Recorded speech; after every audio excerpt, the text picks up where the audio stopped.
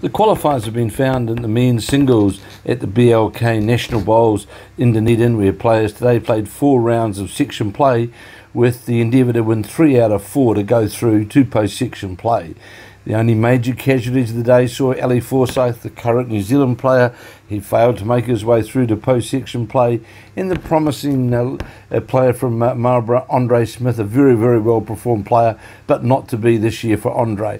Of the New Zealand or the leading players that have won their way through, I'll quickly go through those.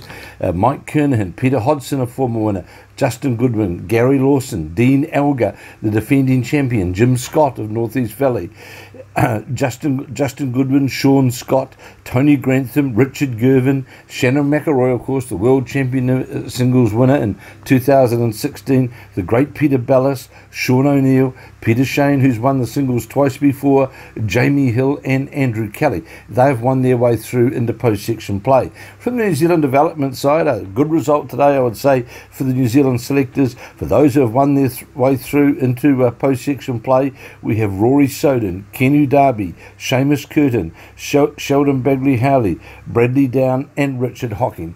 Of the leader provincial players from around the country that have won their way through, we've got uh, Lance Pascoe uh, of uh, Canterbury, Bob McCauley, Richard Corey of Wellington, Mike Small of Burnside, Eric Patello of Bay of Plenty, Jeff Wilson, Bart Robinson of North Harbour, Rob Ashton of Wellington, Doug Thomas, Barry Williams of Christchurch, Tony Fablin of the Waikato, Colin Gorth of Thames, Shane Pascoe of the West Coast, uh, Raymond Martin of Wellington, Alistair Watson, uh, Steve Hoft of Auckland, Andy McLean of uh, Northeast Valley, Jonty Horwell, Nick Butter, Stephen O'Driscoll of Dunedin, Laurie Guy of Wellington, Evan Roberts of Southland, Craig Merrillis of Southland, Elvin Gardner, uh, now playing out of New South Wales, Shane Sincock of Canterbury, uh, K- Kevin Diggs, uh, Alan Veach, Sam Taloki of Onehunga in Auckland, Andrew McCullum, and Paul Matheson of Canterbury.